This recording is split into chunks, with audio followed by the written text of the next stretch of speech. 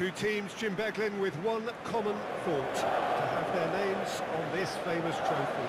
Yes, Peter, I've been a, a winning finalist and I've been a, a losing finalist and I don't need to tell anyone what I preferred.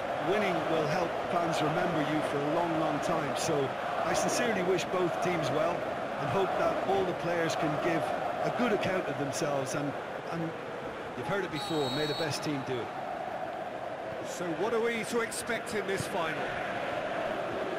Always a passionate affair this, a fixture with unique flavour, its own particular dynamic. Look, we can only hope for a final that will be free-flowing, end-to-end and highly entertaining.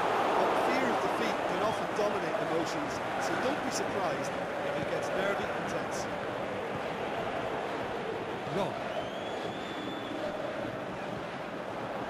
Schick. Wide to the right. Under. Nzonzi. Hamsik needs to get it forward quickly. Looking to force his way through.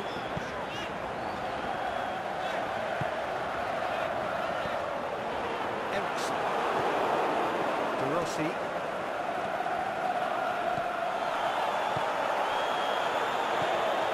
Now it's Insigne.